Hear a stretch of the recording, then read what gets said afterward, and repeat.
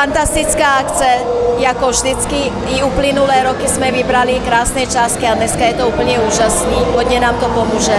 Peníze budou na Sluzelen, na vybavení terapeutické místnosti pro postižené děti.